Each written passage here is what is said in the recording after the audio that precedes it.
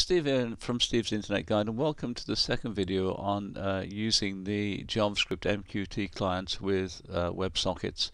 And in this video we're going to do a little more complicated script and we're going to create a form and we're going to publish and subscribe and view messages using that form.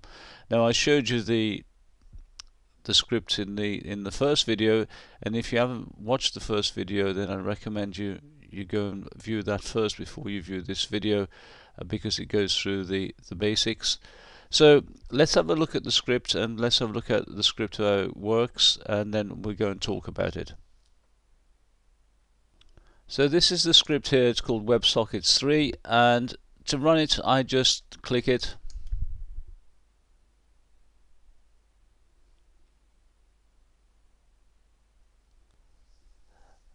So there it is here. Now at the top here's a status bar and you can see the connection status is not connected and I've just used a cascading style sheets to color this so we can actually see it a bit clearer. Now we've got a little form here to enter the server and the port and then we connect and then we have a subscribe form here and then we have a publish form down here and we have another status area here for the for messages so we see some messages ap appearing here now, the script consists of three forms. So there's the first form, there's the second form, and there's the third form. Now remember, before we can actually publish or subscribe, we need to connect. So we use the connect form. Now, what I'm going to show you is uh, what I didn't show you, what I meant to show you in the first video was a, a failed connection, because if you remember back to the first video, we included the ability to capture um, a failed connection. So let's put the server in there and let's put the port but we're going to use a, a wrong port number. I'm using port 901 and I'm going to put 902 there so that should fail. So if I just click on connect you can see here it's connection retrying. And again it's on a two second interval. It will keep retrying indefinitely. Because I'm not connected if I try to subscribe I should fail as well. And you can see here whether you let's do it again.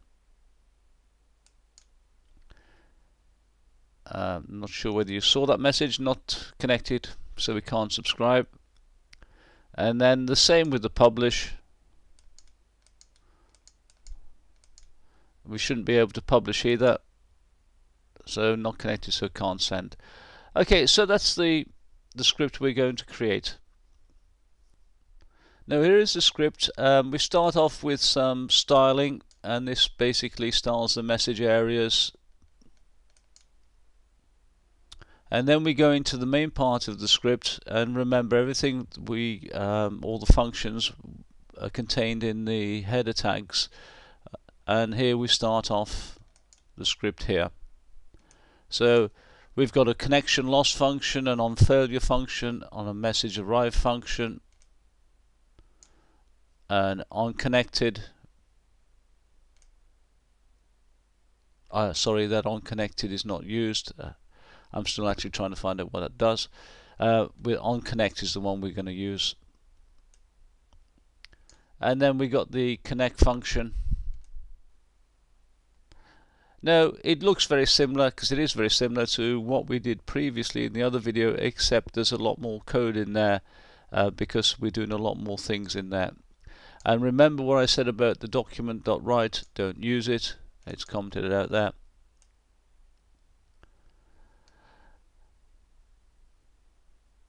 Okay, right at the bottom of the code we've got the HTML and this is where the forms are so we've actually got three forms. There's one form, there's another form, and there's a, another form. And at the bottom, we've got a message area. This is the one that showed in yellow, if you remember back a couple of seconds, where I tried to connect and it says connection failed. Uh, that's that message area here.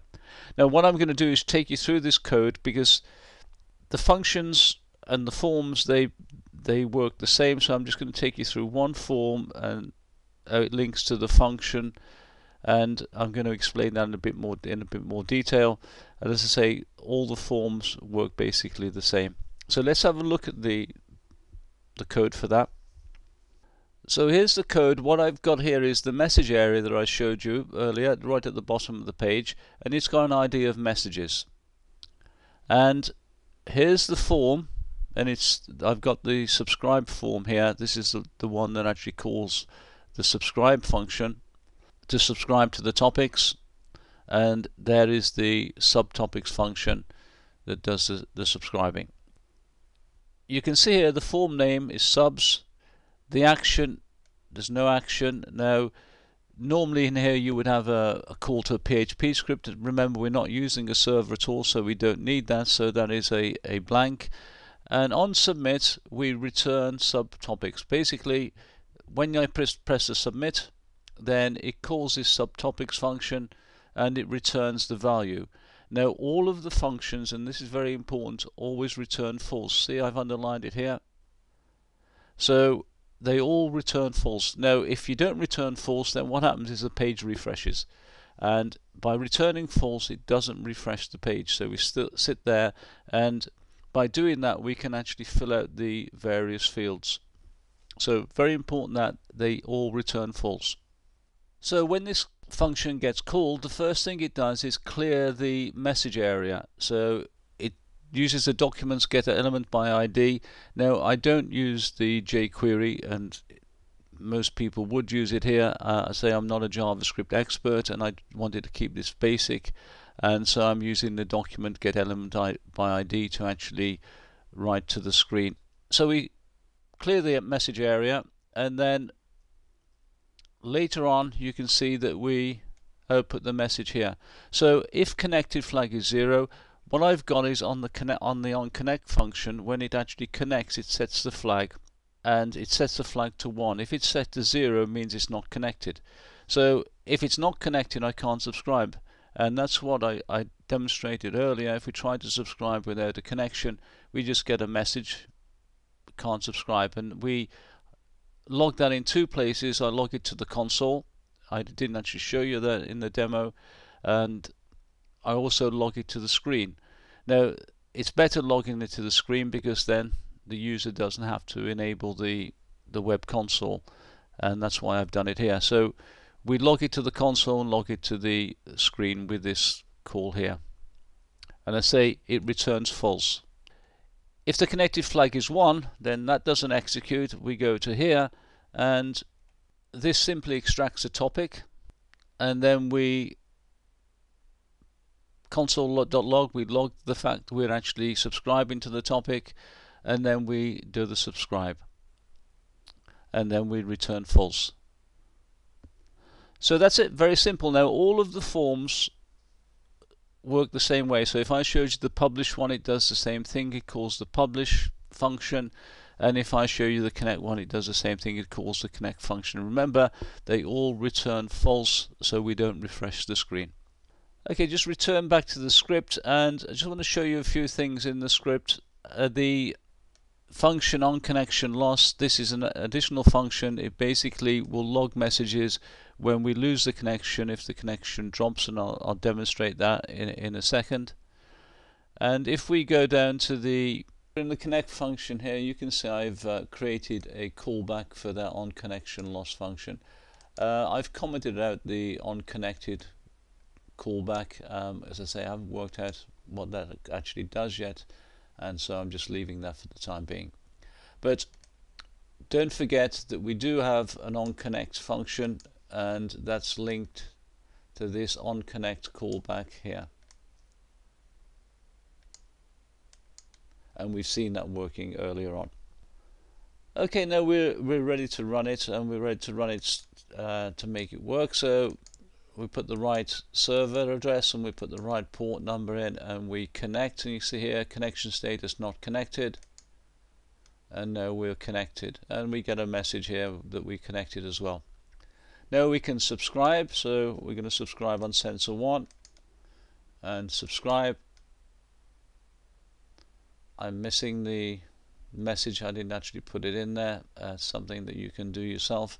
It's to get it to uh, display a message that it's actually subscribed. And now we're going to publish a message. This is a test and we're going to publish to sensor 1 and remember because we're subscribing to sensor 1 and publishing to sensor 1 we should actually receive the message. So let's submit that. And here we are. We've received the message and received on the the topic. So that's it. That's the script working.